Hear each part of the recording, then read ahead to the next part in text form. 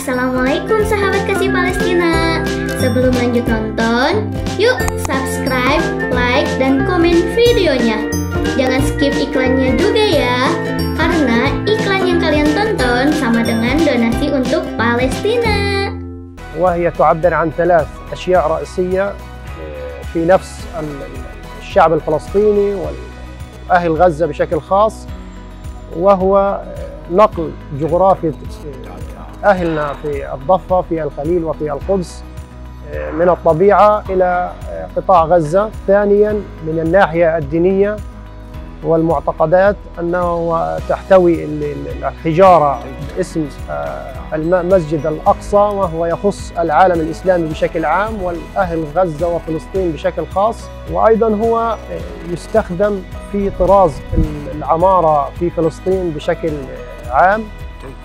في كساء المباني الدينية والمؤسسات الحكومية. طبعا أمنيتي في شهر رمضان أن يكون المسجد عبارة عن خلية نحل ممتلئ بالمصلين والراكعين والساجدين والقائمين والمعتكفين ودروس العلم والموعظة تنطلق منه حملات التكافل الاجتماعي والمبادرات الإنسانية والتربوية.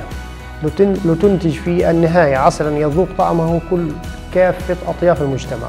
أما أخيرا فلا يسعنا إلا أن نشكر إخواننا المتبرعين من دولة إندونيسيا الشقيقة ونشكرهم على هذا العطاء وهذا السخاء ونسأل الله العظيم رب العرش الكريم أن تأتي اللحظة التي يشرفون فيها للصلاة في هذا المسجد وقد تحررت بلادنا من دنس الاحتلال الصهيوني وإن شاء الله يكون قريبا.